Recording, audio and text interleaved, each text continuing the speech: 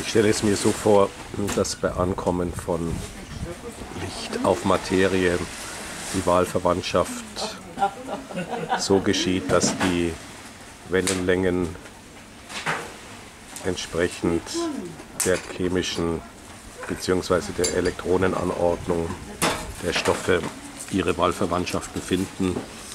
Das ist zum Beispiel so bei kontinuierlichen Spektren, die aus thermischen Strahlen wie der Sonne oder glühenden Metallen abgesondert werden, deren Spektren kontinuierlich sind,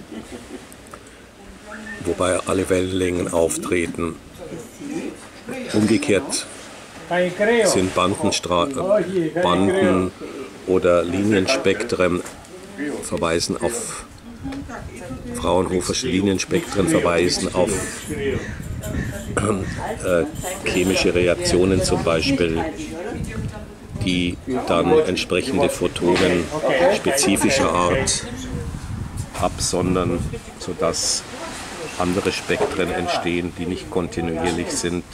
Das ist einfach nichts anderes als die Umdrehung der Aussendung von Licht durch chemische Strukturen mit entsprechenden Elektronenoberflächen im Gegensatz zum Wahlverwandtschaftsgesetz von Absorption dieser chemischen Strukturen, wenn Licht mit kontinuierlichem Spektrum auf es, auf es auftrifft und dann interferiert, absorbiert wird oder gestreut wird.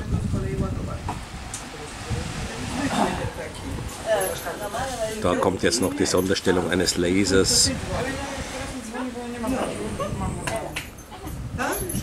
Aber das ist ja eigentlich klar, was ein Laser ist. Eine so lange Spiegelung, bis das Licht sich kohärent macht